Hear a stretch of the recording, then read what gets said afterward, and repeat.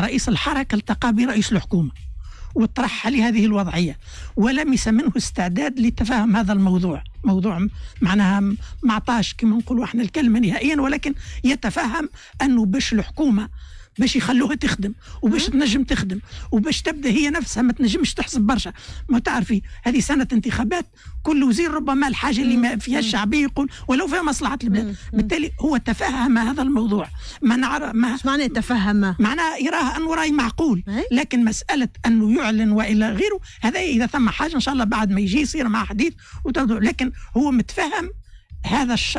متفاهم هذا الظرف شنو الضمانات اللي نحن اللي الضمانات معناها اليوم إذا كان يوسف الشاهد يتعهد ولكن كي يقرب 2019 يقول لك أنا حقي الدستور يمنحوا لي أنا مواطن تونسي باش نظهر لي تو باش نترشح. هو على كل حال في السياسة معناها الضمانات هو هو شرف.